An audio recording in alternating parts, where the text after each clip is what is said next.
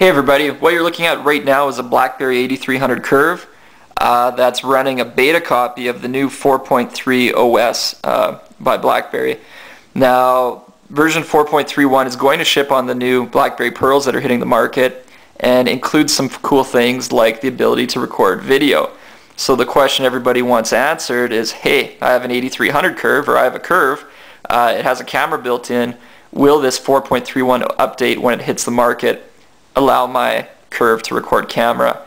And right now, you're looking at the answer, and that answer is yes. Uh, that bright light you're seeing there, uh, it's a cool function that RIM's built into the device, which allows you to turn the flash on or off uh, during the video recording process.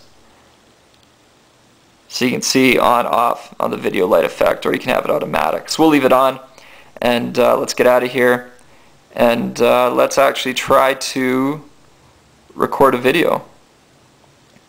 So I'm in my dark living room. I'll just kind of pan around here. Uh, we'll see how this works when we do the playback. There's a TV and we can come back. I think there's a, some computers up there to record. Nothing too fancy, but it is a video nonetheless. We can stop recording. And let's look at our options. We can continue recording. We can stop. We can do playback. Let's try that. I'm in my dark living room. I'll just kind of pan around here. Uh, we'll see how this works when we do the playback. So there you can see that. Uh, get out of the playback mode. You can rename the video. You can trash the video. And the option everybody else wants to know after, once you know it can record video, can you send it as an attachment? And you most certainly can. Uh, pretty cool. Uh, let's get out of here. So we've, we've answered that question. What else does 4.3 hold in store for the Curve? Now, video recording is coming to the Curve update. Uh, it doesn't sound like the Pearl's getting it, but all of them, maybe the exception being the 8700, will have voice notes recorder. Uh, same basic interface, Hey, I'm recording a voice clip right now. How's this sound? Hopefully pretty good. And we can continue recording. We can play that back. Hey, I'm recording a voice clip. And it all works. And if you want to send that as an email, you can. Uh, what's else? What else is on 4.3 on this curve? Uh, I like this new theme actually. The Dimensional theme is what I'm running. Uh, the new Pearls have it. Basically your shortcuts are lined up on your lower left and bottom corners, uh, which allows you to run lots of different wallpapers and, and change it up and, and not have it be too cluttered. It's highly visible. Uh, pretty cool. One click, you're back to all your, your apps here laid out in a big smorgasbord.